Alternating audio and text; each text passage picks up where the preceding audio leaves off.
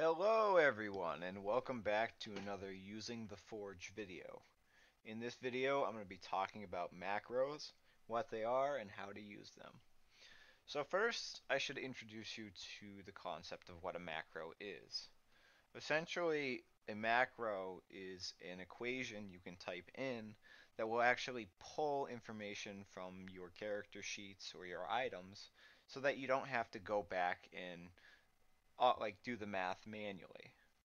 So, for instance, if I wanted to pull a dexterity bonus, I could write an equation that actually includes that in a macro. So I'm going to show you how to do that right now, actually. So in the chat, we actually can roll macros as if we were just rolling dice. So we could do slash r d20 and it will roll a d20 for us. We can do something else like slash r 2d20 plus 5 and so on and so forth. You can roll dice pools by doing slash r and then typing in 1 or the number of dice you want to use, square bracket, the dice type, and then it will roll that dice type. Now, what we probably will want to do is actually pull information from our character sheets. So the way you can do that with the chat is if you're impersonating a character, you can actually reference them directly. So when I roll, let's say a d20, and I want to add the dexterity bonus to them, I can look up the modified dexterity value, the modifier for the dexterity, by doing plus m at dex.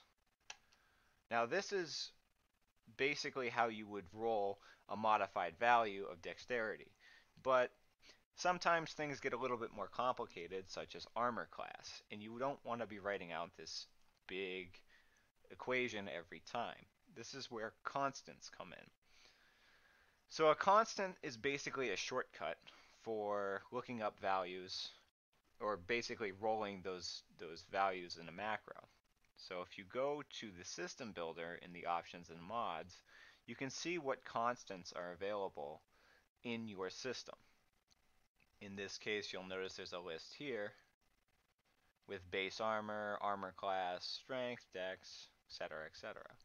And they essentially boil down to just shortcuts for your macros you'll notice that this armor macro is a bit large and we wouldn't want to be typing that every time. However, because this constant exists, I can actually just reference it by doing slash r AC. And you'll notice it pulls my armor class from my character. What's going on? So you'll notice that it says M at strength and how I mentioned it was modified earlier. So that's the modifier for strength. But if you wanted to get the raw value for strength, like what it appears like on your character sheet, you would want to do slash r at strength, str, which is the abbreviation. And this would pull your strength value automatically. So now that we can do that, what if we wanted a value that was modified and also added to the raw value? What I mean by that is in the case of, let's say, hit points or speed, let's say speed. If I went to my speed stat here under counters and I added a modifier, let's say I wanted boost 5, I wouldn't want my macro to include this boost added to my speed value here. So how would I do that? Well, you would just not include the R or the M and just do at speed, which would give you the total value for your speed. And in this case, you'll notice my speed is actually modified. Now, it's important to understand that macros are best used for simple comparisons and making simple lookups, but they can be used for more advanced things like automation. You can do and use macros in the Math tab,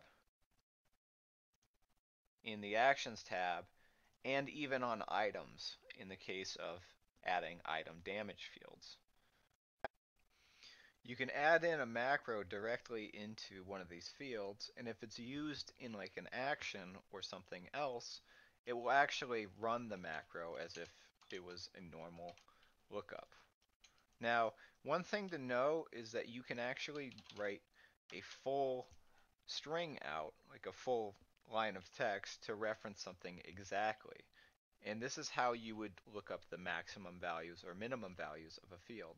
So in this case, I'm going to add my speed minimum to this dice roll. And now if I was to use this item's action, first I'd have to save it, and then I would go actions, roll, damage. And we'll actually roll my speed minimum, which in this case is actually zero. So you can do a lot with macros, and if you start combining them with different areas, you get some pretty interesting results. That's where I'm going to stop this video. I'll do future videos on where you can use macros and how to make them work because when you do system building and you start building actions, they become pretty important. Anyways, guys, thanks for watching as always, and I'll see you in the next video.